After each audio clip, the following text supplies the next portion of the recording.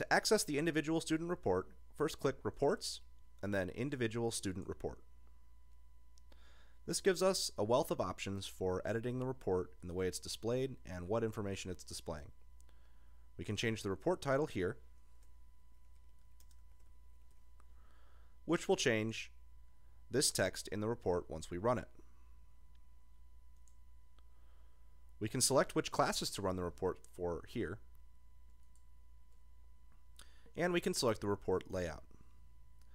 We can order the report by section and then by student, or just by student. And we can sort students by their gradebook preference, their last name, their first name, or their student number. Finally, we can sort assignments within the report by newest due date, oldest due date, or by category and then newest or oldest due date. We can select which areas to include here. Course grades and attendance is this box on the report. By unchecking that in this menu, it will no longer appear on the report. We can also add course grade comments. Assignments is this assignment scores box. By unchecking that checkbox, it will remove the assignment scores box from the report. Finally, category totals is at the bottom of the report, and by unchecking that box, we can remove category totals from the report. We can also select whether or not to show percentages in the data and whether or not we want to show assignments with no entry. Next, we can select the date range for each of these three sections, course grades,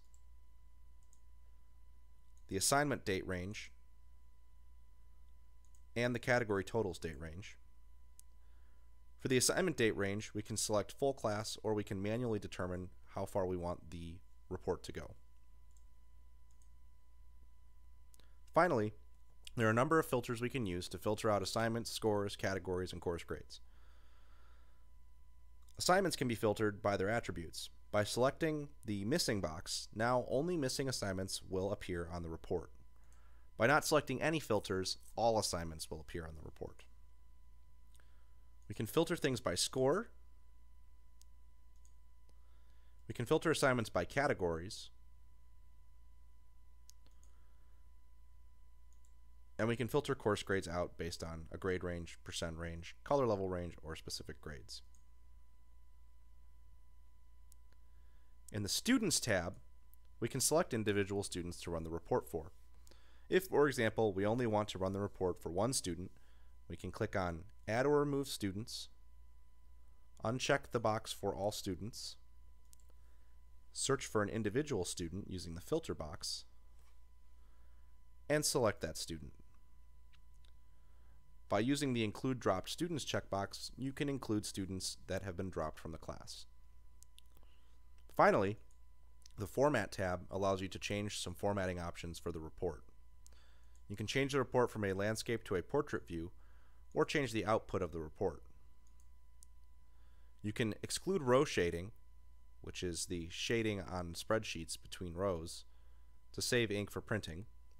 You can include a top and bottom note and bold them by using these text box and the check boxes. Finally, you can include a signature line useful if you need to take this progress report to a parent teacher conference or to an administrator and get it approved that it was delivered. Once you've set your options, click Run Report. The report will run. You can save the report and then open it to view it.